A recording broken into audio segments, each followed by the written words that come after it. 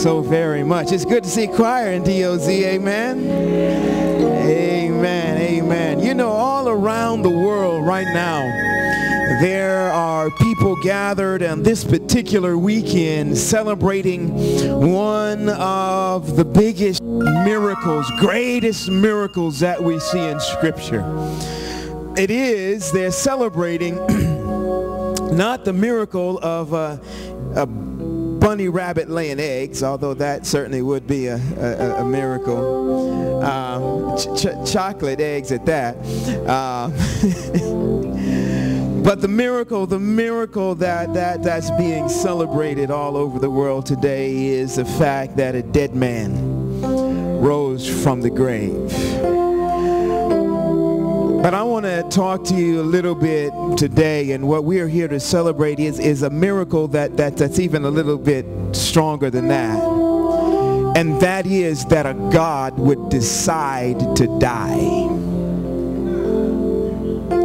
for stuff like us. I, I, I, it, it's, it's not as big a mystery to me that that God man could, could raise himself up from the grave. If he, that same God, could step out on palpable darkness, could speak to nothing and every, then he could certainly raise himself up from the dead. But to make the decision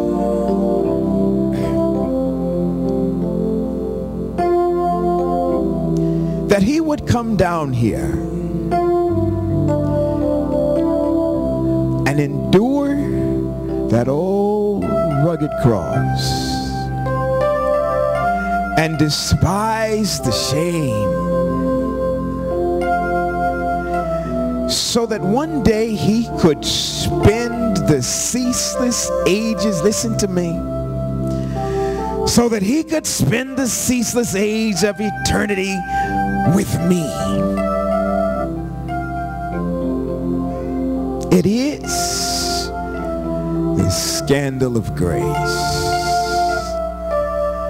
That, that, that's a miracle. That's the unexplainable. That's the undefinable that he would choose of his own free will to say, I will lay down my life for each and every one of them hard-headed, knuckle-headed, stubborn, messed up, jacked up folk. I'll do it. Even for those who will never accept me. I'll do it so that at least they have a chance. That's the awesome, awesomeness of the gospel of Jesus the Christ. Pray with me. Father, it is one more time into the holiness and the solemnity of this moment that we would invite not only your presence but also your power. But Father, there are those who have come into this place of worship today who are in desperate need of feeling and knowing that you are near. Father, we need you to infiltrate this place. Need to know that we're not just here going through the form and the fashion, that we're not doing what we're doing today just because of a tradition. But Father, we need to know that you are here. And so to everyone under the sound of my voice, it is my plea that you would make yourself vividly known today. Let there be no mistake that they have been today in the presence of Almighty God. Then, Father, not just your presence, but your presence never comes without your power. And so there are some hearts and lives and circumstances and situations, Lord, that except for your power will remain unfixed, unhealed, unchecked. So Lord, we need both your presence and your power and we claim it because you promised it. Where two or three were gathered that you would be in the midst. And so we would end this simple invocative prayer by saying thank you for answering, answering your own decree. For we ask it in Jesus' name. Amen.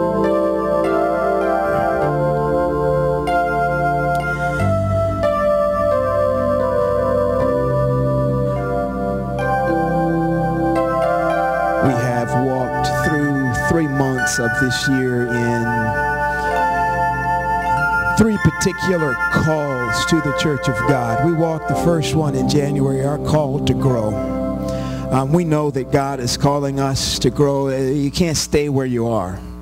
In this walk of faith, it is it is dangerous. It is um, it is fatal in the Christian walk to stand still.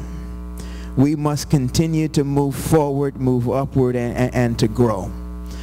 Um, we went through the second month and we talked about the call of the church to recover and restore, particularly those who are missing, those members who used to be a part of fellowship and a part of faith and, and for whatever reason have, have, have, have disappeared. And, and we said that it is the responsibility of those that are here to chase uh, as God has chased us. I believe we said we're supposed to chase them uh, not like muggers, but like lovers.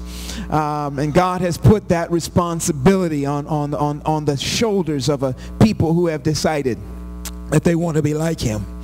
And then we walked last month, the month of March, we walked through the call to nurture. We've talked about those who are new to faith and new to fellowship, that there is a responsibility of the church not to just kind of sit on the sideline and expect that people will mature all by themselves. That that is the responsibility of the church to, to gather around and to nurture them, to make them feel welcome, to engage them. And we walked through that. And this month we've taken to perhaps one of our most uh, um, important calls. It is the one you see on the screen. It is the call to be what, everybody? one that God has called the people of God. He has called us not to be separate and apart and all over the place. He has called us to be one. Jesus in this uh, prayer in John chapter 17 as he's about to leave, he prays there. He says, I would, Father, that you would take those that you have given to me. And he says, it is my prayer that they should be one, even as you and I are, are, are one. And so this month, in the month of, of, of, of what month is this? April. We're going to be walking through our call to be one. And there are four things, four elements of this call that we're going to be walking through from week to week. And I want to share with you what they are. And these are things that will help us or that need to happen in order for us to answer effectively and honestly the call to be one. Today we're going to spend a little time talking about fellowshipping. What did I say? Fellowshipping. There's no way in the world that we can be one unless we're willing to hang out together. And I'm not talking about just sitting next to somebody in church. We're going to get to that in just a minute and some of those things that inhibit that. But number two, in the second week of the month, we're going to be focusing on here's another thing that we have to do if we're going to be one. We've got to be uh, protecting is the next word. Number one word is what? Fellowshipping. Number two word is protecting. You know, one of the things that we often fail to do is, is, is, uh, well, we said we went over this in prayer meeting last night. You know, there's a whole lot of people that will join a club, that will join a gang. You join a gang oftentimes because you're scared. And the gang will offer you some protection and ain't nothing wrong with that you want to be a part of a fellowship be a part of a people where you know somebody there has got your and not with a knife in it. You know what I'm saying? And so protecting, we've got to, we're going to take a look through that. And then number three. Ah. So the first word was fellowshipping. The second one was protecting. The third one is forgiving. The people of God will never, ever be one until we learn how forgiveness works and how to forgive one another.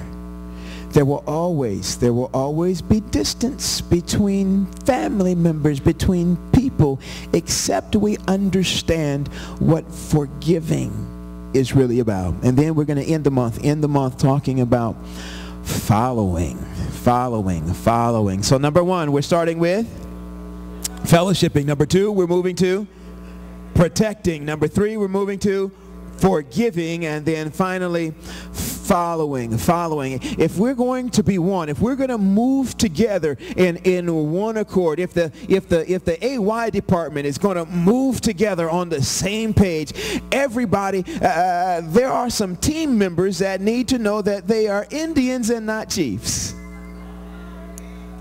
There got to be some, along with the chef, there's got to be some line cooks.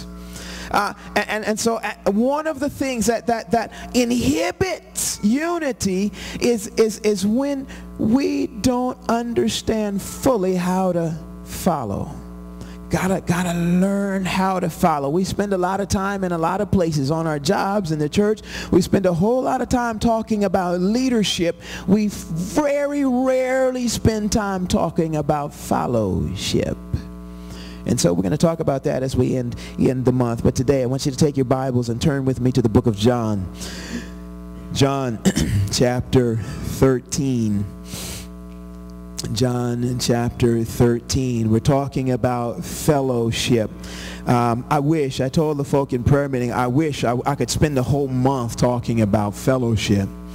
Um, um, we, we, we, we, we need to get a, a, kind of raw when it comes to this if we're going to make some progress. What do you mean, Pastor? I shared with my crew, at, can I, I guess we are streaming, but that's all right. Yeah, because it's like that wherever you are too, for those of you that are joining us over the internet.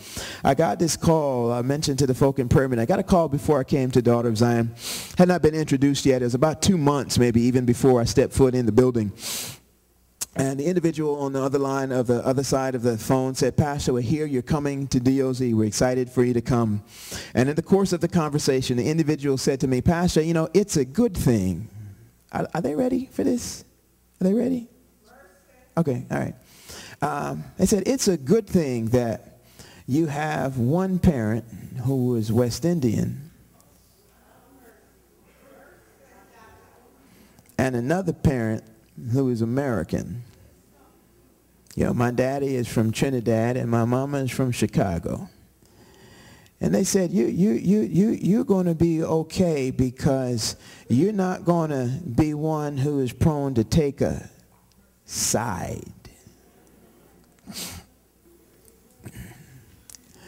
Um, And, and I said, Lord, have mercy. Now, to be honest, I wasn't shocked or surprised because because we know eh, eh, you can go anywhere and this stuff happens. But it ought to shock us. And it ought to surprise us. It ought to make it. And somebody said to me just recently that they overheard some conversation about Jamaicans and Haitians and and and and how there was a rift and a, and a, and the fusses and the fights and the stuff that goes on and and um, where is Jose? Jose. Jose. They didn't tell me nothing about the Americans and the Puerto Ricans, but I'm sure uh, there's some of that stuff that goes on and and and uh, and where where is Brandon? Brandon, where you at? And, and, the white folk. I don't know. We didn't, I didn't hear you know that kind of stuff is going on with the Italians and uh, what was the other one? Italian and what? Italians and the Irish going on at DOZ. But so you might not be able to read it, but I want you to read that bottom line with. I'm going to say it and I want you to say it back to me. It says, "We are committed." Say it to demolishing. Yeah, yeah, yeah. I want you to say that like you're really trying to tear something down. We are committed to, to demolishing. Get that guttural thing. To demolishing. Do that. All right. To everything that threatens our unity in Christ. we are committed to demolishing everything that threatens our unity in Christ. We, we good with that? You, ready?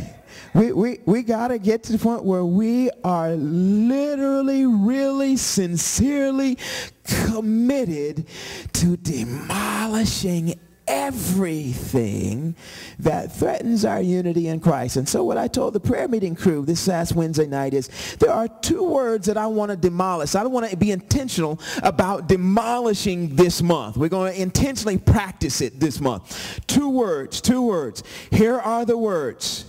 They and them.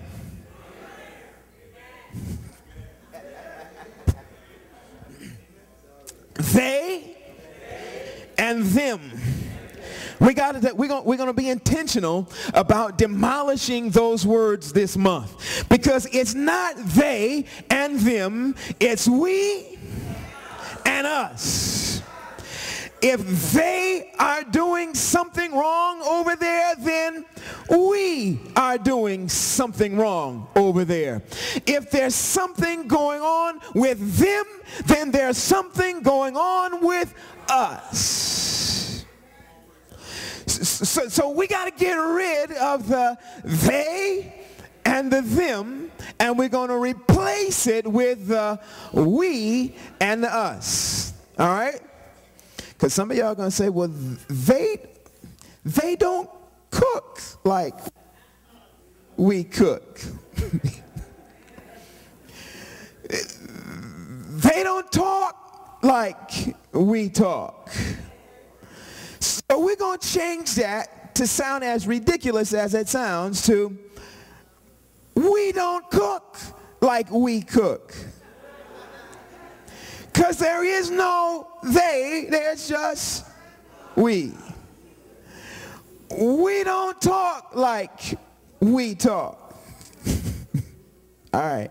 So we're going to focus on that. Focus on that this month. Why? Because we are committed to demolishing everything that threatens our unity in Christ. We learned on prayer meeting, and we're talk a little bit about it now. Learned in prayer meeting that there's one thing primary that, that stands in the way of our unity in Christ. We're going to deal with it right now in the book of John, chapter 13. I want to walk you through this story. Jesus is about to be crucified. He has, uh, at the end of his three and a half years of ministry on this earth, he has gathered, gathered his disciples for one last supper, one last meal up in this upper room. Now, before the feast of the Passover, John chapter 13 and verse 1. Now, before the feast of of the Passover when Jesus knew that his hour was come, that he should depart out of this world unto the Father, having loved his own which were in the world, he loved them unto the end.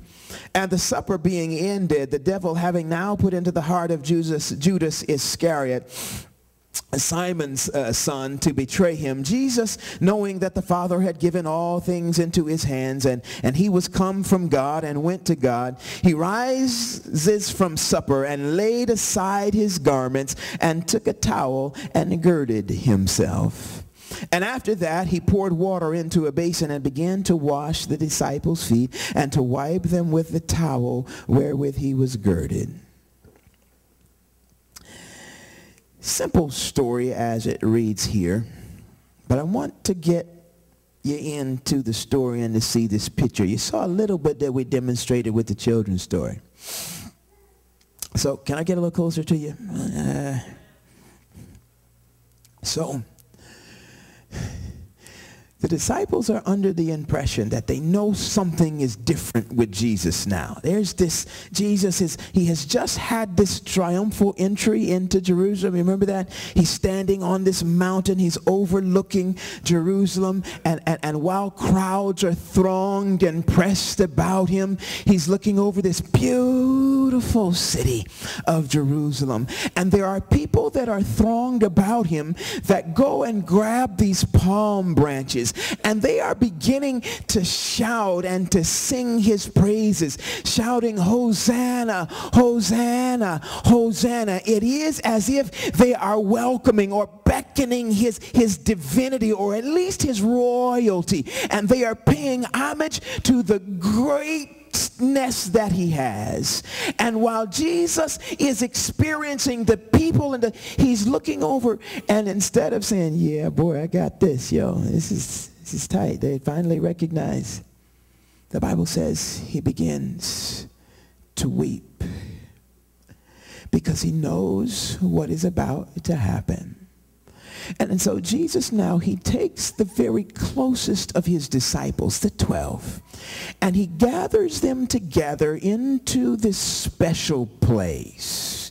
He's about to have his farewell dinner with them and the table is set.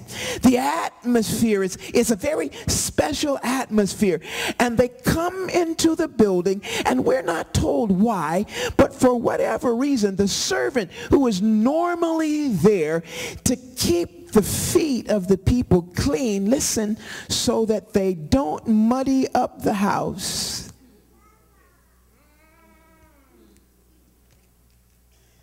Is not there. And so here are Jesus' closest boys, his closest followers. They know more about him than any other group on the face of the planet.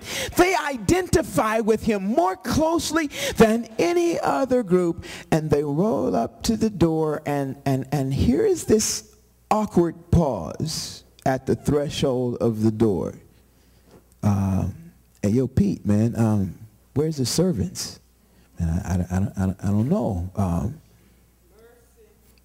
well, what, what are we going to do? We uh, stop pushing. We, we, we can't just walk the dirt into the house. Well, somebody's got to wash your feet. Well, yeah, well, okay, here you go, man. Go, I, man, I ain't washing. Please. Can you imagine the, the fussing? Make John do it. He's the youngest. And I ain't washing your feet. Your toe jams been all up. I don't know where your feet been, man. And, and, and, and this thing. And so, so now among them, there's this stuff that begins welling up and rising. There's somebody, I guarantee you this, if there are people like we're people, just like ordinary folk, there's some there's this one brother who's saying, man, I ain't doing it. But in his mind, what he's really thinking is, I ain't doing it because you remember that one time back in 1987 when you spoke to me and no, no, actually, when you looked at me in that tone of voice, I never got over that. You didn't say a word, but I heard you loud and clear. And now, and now, really? You got some guts. You that gall. You think I'm going to get down there and watch your foul, funky feet?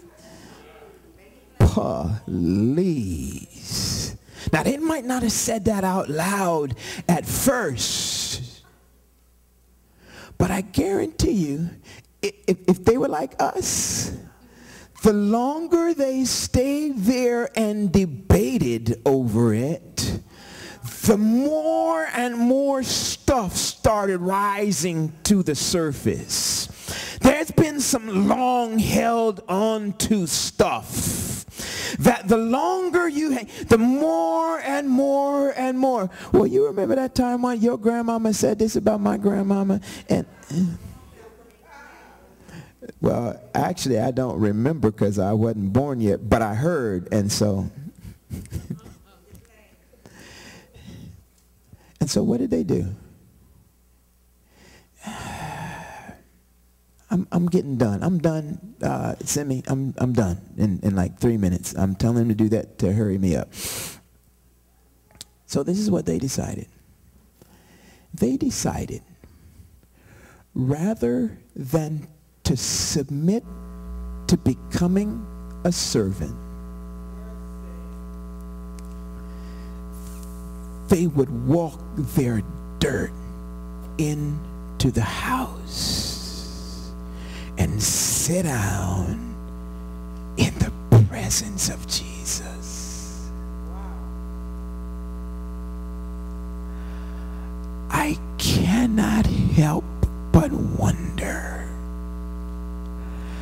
how many of us today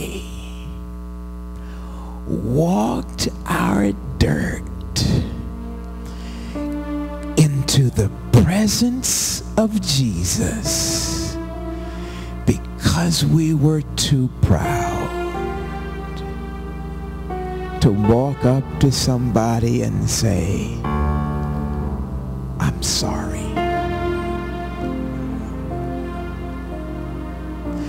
Because we were too selfish to admit I was wrong. We would have rather held on to the image that we thought we were projecting, and usually we're wrong. To maintain some line of, of, of imagined respectability by thinking I didn't mess up. I was right all along. And so we walked some dirt into the presence of Jesus when we came into the house today.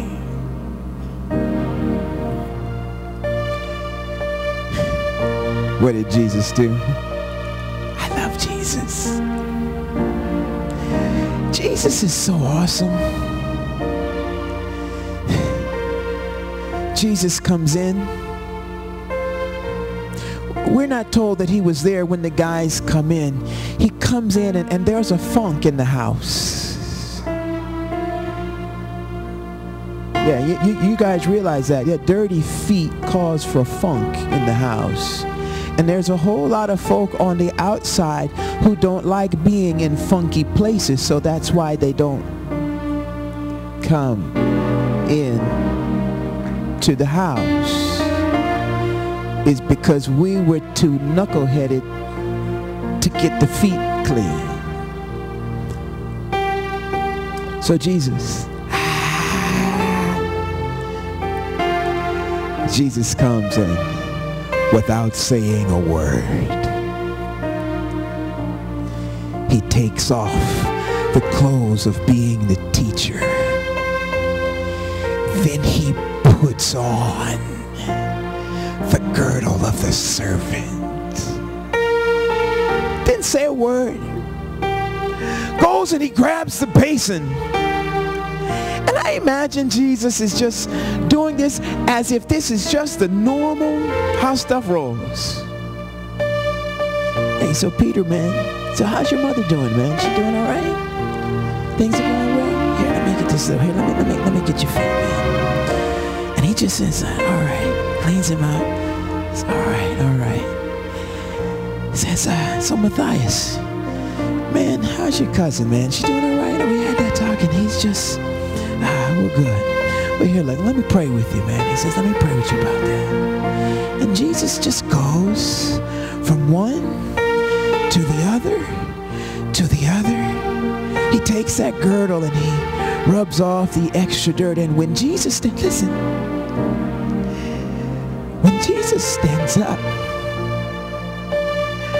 the mud, the dirt, they're now staining his clothes. The funk is now on his hands. He's saying to you and to me this.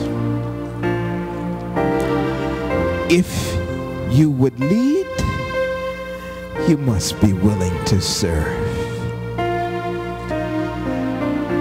If you would follow,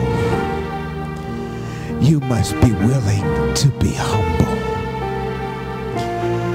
If you would lead, and if you would follow, you must be willing to carry the dirt and the funk, the stain of the people around you.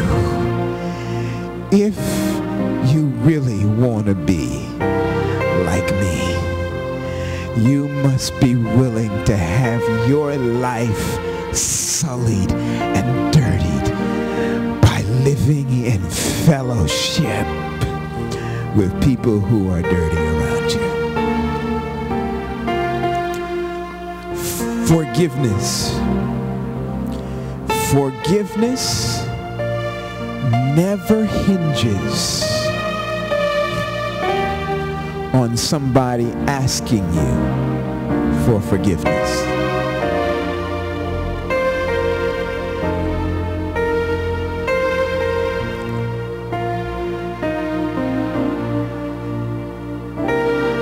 Forgiveness is never hinged on somebody else's apology.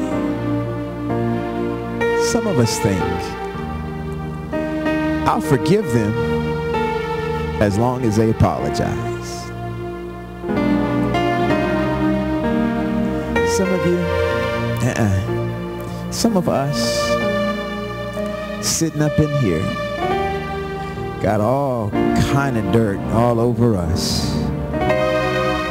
And 2,000 years ago, Jesus climbed a hill called Calvary, stretched his arms forth, opened them wide before you even got dirty, before you even knew what an apology was, and said, I forgive you.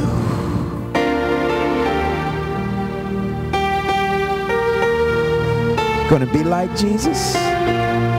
Gotta learn how to forgive like Jesus.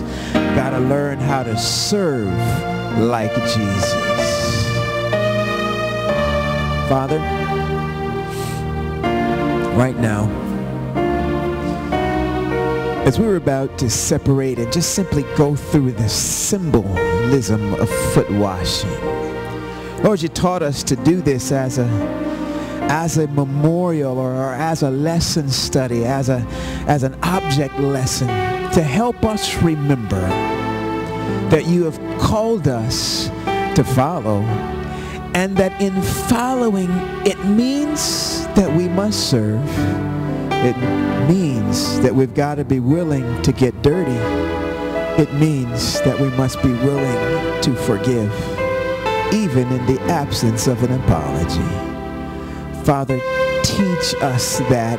Write that thing on our hearts, on our brains, so that it becomes not just the stuff that we preach or the stuff that we sing about or the stuff that we read about. Make it today the stuff that helps make us who we are. For we ask it in Jesus' name. Amen. Amen. At this time, I'm going to ask that our deacons will stand and they will lead the men of the congregation and those that will engage in our foot washing today lead us over to our fellowship hall.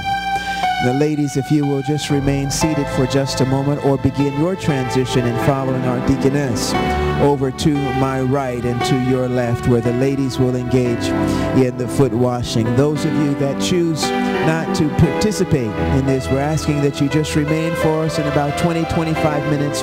We will return and go on with the rest of our service in the ordinances of the bread and the wine.